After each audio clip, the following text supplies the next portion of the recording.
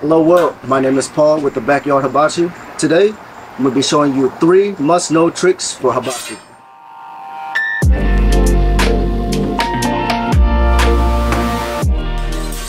Welcome to Hibachi Tricks 101. Today in this video I wanted to show you guys three basic hibachi tricks. These are the first three essential tricks that you have to learn while you're in training. Let's go. The first trick we're going to learn is the spatula spin.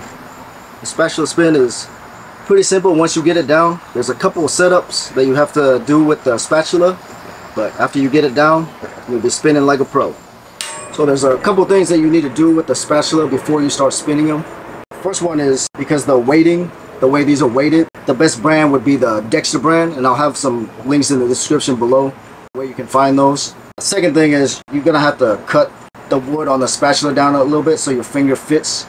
This way, you know, your finger fits inside, and while you're while you're spinning the spatula, the momentum will will allow it to spin around your finger. Practice spinning just once, and then catching.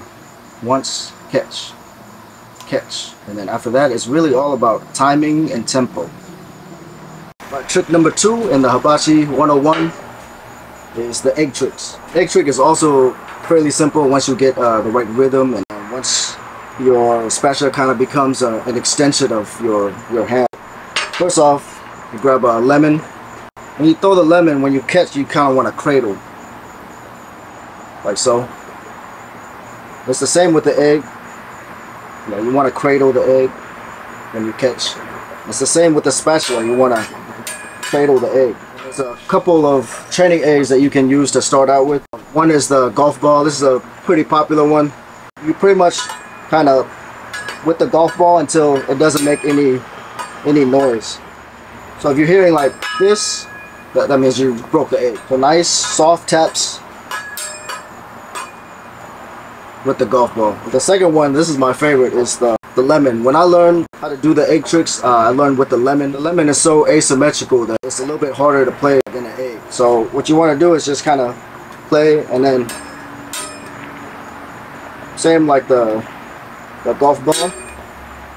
So once you get a little more advanced with your egg tricks, you know, you can juggle and then you can start adding different tricks, different tricks to your arsenal. The third uh, basic hibachi tricks would be the salt and pepper shakers. These are some of my favorites because while you're cooking, you can still give your customers a nice show. So versatile in how many tricks that you can do with them. They're easy to catch.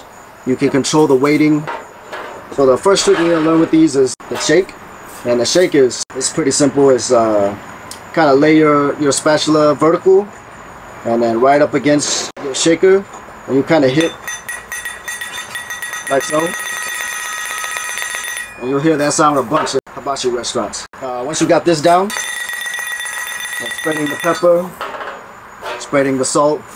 Uh, pro tip, whenever you do salt, you really want to go high. That way you can see the salt dripping. And then whenever you do the pepper, you want to go low because you don't want the pepper to get out into the air, into the steam, and then it goes all over the restaurant and people start sneezing and coughing. And before I forget, uh, I really want to give a huge shout out to uh, everybody that subscribed, commented, liked the video. Really appreciate you guys' support.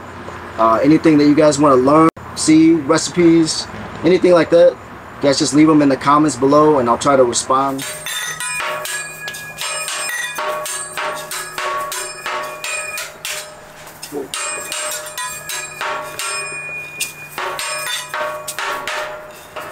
And that was Hibachi Tricks 101. See you guys next time.